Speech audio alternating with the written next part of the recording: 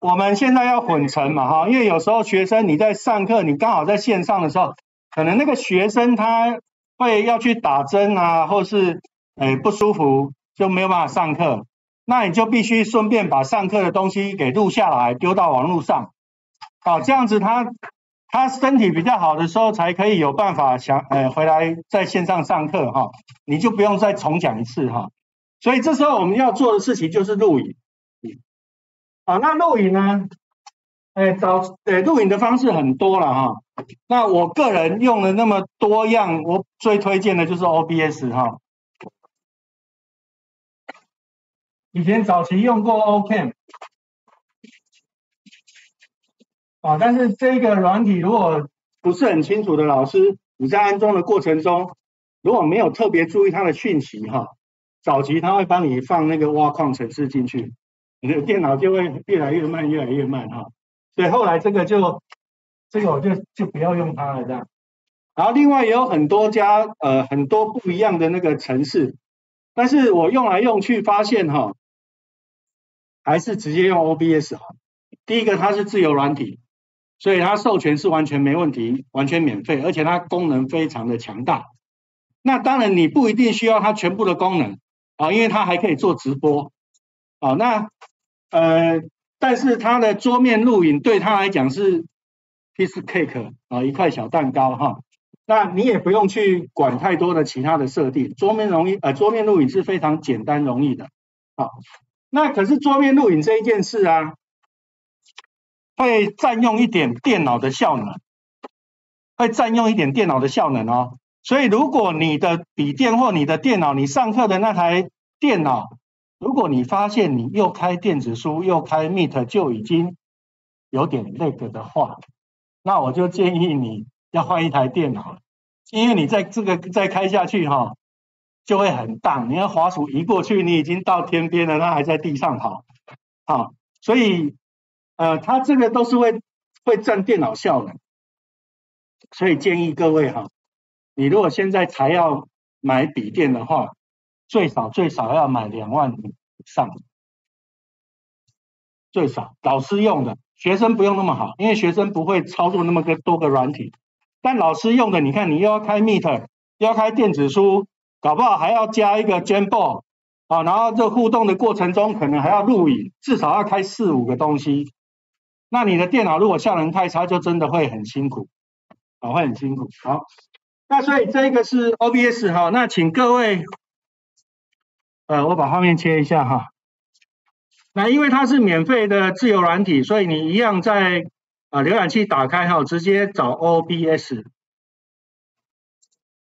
啊，然后第一个就是它的网站哈啊，然后这边有个 download 哈，那个呃那个电脑老师最厉害的单词就是 download，我去哪个网页都是找 download 在哪里啊，download 哈，然后这边就有 Win。Windows 的版本对不对？它这边有好几好几种版本哈。那请你就 download 那个看起来像视窗的，再点视窗，然后你是苹果就点这一个，你是 Linux 就点这一个哈。所以 Windows 点了之后，这边有很多个版本，请你用第一个第一个就好啊。第一个是六十四位元的哈，跑起来现在电脑都六十四位元，哎，应该还不会有人有三十二位元的哈啊。就把它下载回来，下载好之后，请你点两下直接安装。各位抓一下。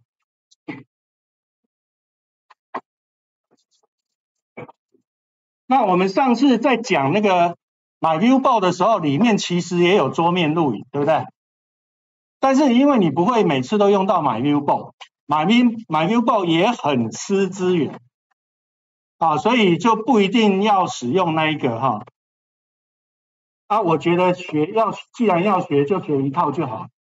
那学的那一套最好是功能又强又简单啊，又没有版权争议啊，又不会那种盗用软体还要付费什么的，又免费这样最好啊。所以百千挑细选之下，就这个最好啊，而且它什么系统都有这样。然后，所以各位下载回来就把它点开哈，把它安装起来，install 安装起来。好，那。因为呃，电脑老师最厉害的单词就是 install next next finish。好，这个都是必学的英文单字。那 cancel 也要也要认识的哈，不然不小心按到就取消了。好，那呃各位老师下载安装好之后呢，它会在桌面上哈，桌面上会长这个样子。好，这个 OBS，然后它有更新的时候，它也会提示你要更新哈，所以你就不太需要管那个更新的问题。好，那你打开之后呢，那我我也是一样的哈，我的习惯就是常用的，我就把它放到这边，所以你按右键一样可以盯选工具列哈，啊，一样可以盯选工具列。好，那如果我有盯选工具列，我这边其实就可以拿掉了，因为这个是捷径而已。好，那你把它点两下打开之后，它会长这个样子。哦，长这个样子，那你不要紧张哦，看到很多按钮，不要紧张，什么都不要管，只要管一件事情，声音有没有选对？好，声音声音在哪里选哈？因为这是一个非常非常专业的。的那种导播软体，好，所以它可以选很多个来源，比如说我要我的画面要放电子书，然后要放我的人头，然后还要把摄影机抓进来，还要截取一个什么样的画面放在旁边，还要放一个娘家低基金的 logo，好，这个都可以处理，啊，但是我们没有还没有要弄到那么复杂，我们就最简单的桌面录影，啊，各位看一下啊，所以第一件事。你要确定的是，你这两个声音，这一个是麦克风输入，下面这一个是电脑的声音输出。好，所以你播歌的时候，这一条应该要亮。好啊，你讲话的时候，这一条应该要亮。如果你播歌这里没亮，表示你这里的设定有问题。如果你讲话这里没亮，表示这里的设定有问题。那怎么确定呢？这里有一个齿轮，点进来，把它拉高一点。这里有一个属性，属性就是确认你的收音设备是哪一个啊，所以我点进来之后，这里原则上它会它会跑预设，所以如果你的电脑只有一个麦克风输入，你其实可以不用管，啊就不用看这边。但是如果你有两个以上的输入，比如说我是笔电，笔电自己内建一个嘛哈，然后你又插了刚刚那一个网络摄影机。网络摄影机镜头拿起来看一下，下面有一个小洞，对不对？那个小洞就是麦克风，所以一般的网络摄影机上面会有带麦克风，那所以你就变成会有两个麦克风，那你就要在这里去做选择，我要用哪一个？这样了解吗？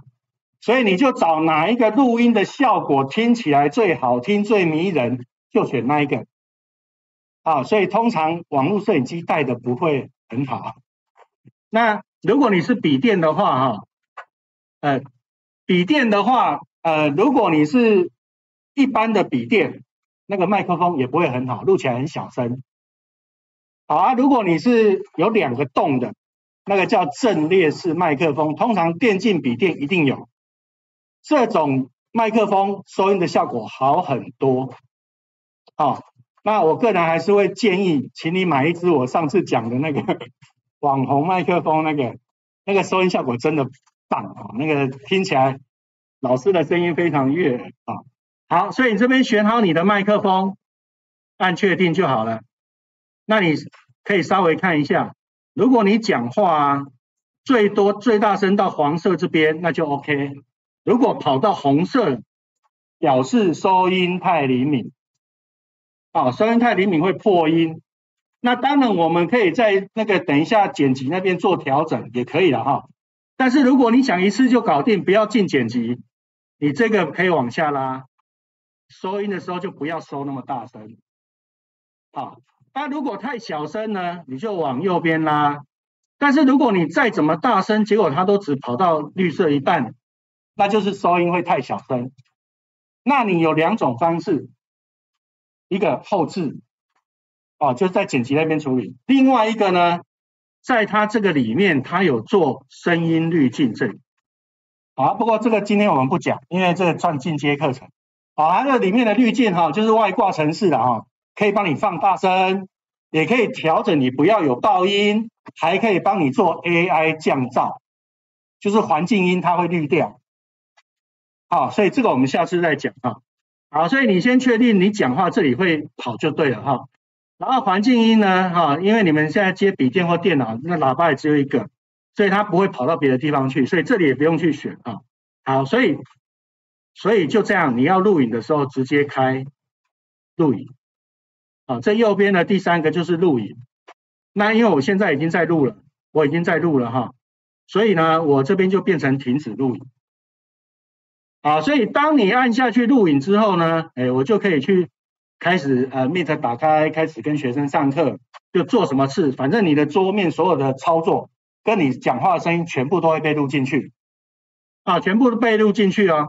那录进去之后，啊，如果你上完课了，你就按停止，我，再再继续录了，因为这个影片等一下要用。好，所以你在你按停止之后呢，它就会把你的档案存到影片这边，啊，你的文件的影片这边。啊，就快你的文件资料夹里面的影片，文件资料夹里面的影片这个地方，它预设会存在这边，它里面可以改，但是下次再讲。哦，那所以你就可以打开来看。